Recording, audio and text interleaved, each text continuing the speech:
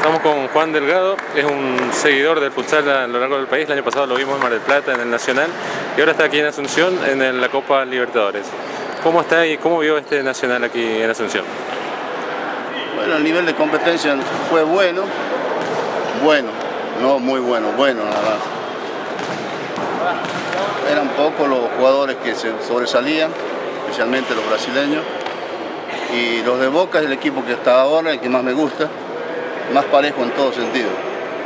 Lo vemos usted. vamos a ver la final contra Falcao. Y Falcao son un equipo bueno, pero son muchachos grandes.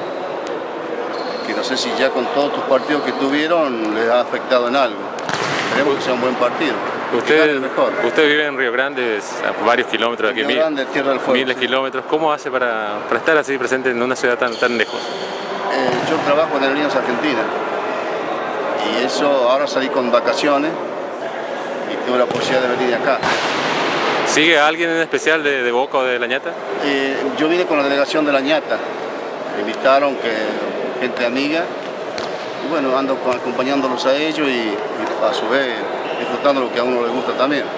Dado que allá en Tierra del Fuego uno ve mucho esto, fútbol sala, fútbol salón, por el tema del frío, ayer inclusive había 12 grados bajo cero en Tierra del Fuego y bueno, la única disciplina que se más se practica es, un lugar cerrado, con calefacción, a donde la juventud, la niñez, todo el mundo va a practicar algún deporte, pero siempre en los gimnasios.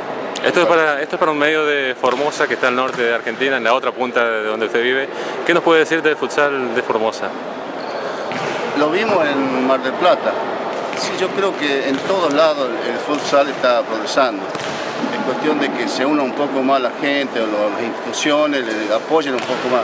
Hay buenas ideas de, poder hacer algo siempre y cuando gane el futuro presidente Daniel Scioli, que él está muy entusiasmado en poder que todo ese deporte se canalice de otra forma y a donde sea todo federal.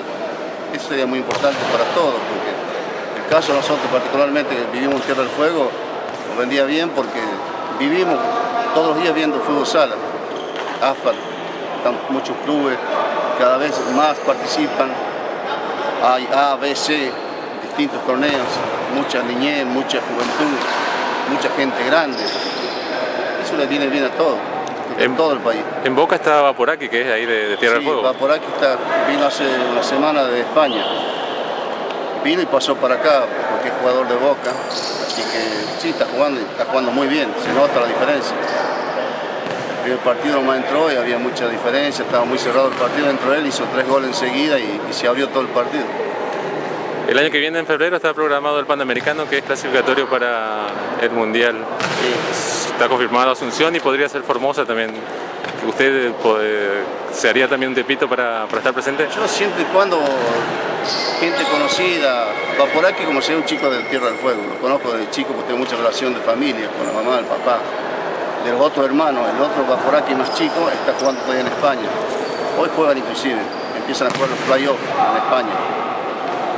Y sí, siempre y cuando participen en los equipos o jugadores de, nuestro, de esta ciudad o, alguien que nos invite, yo sí trataré de estar siempre mirando.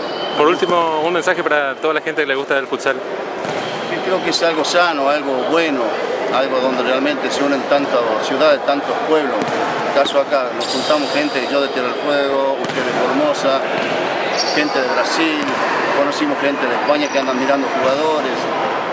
Todo eso le hace bien a toda la sociedad, a la gente, ve la otro tipo de cultura, no solamente lo del local, vienen de todas partes, comparten. Nosotros hemos conocido un montón de gente, gracias a Dios.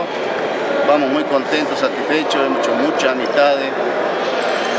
Así que esperemos que todo salga bien, que termine bien hoy y que, gane mejor y trataremos de estar en Formosa, si Dios y la Virgen quiere, pudiendo visitar también. No conozco Formosa, pero tengo amistades allá.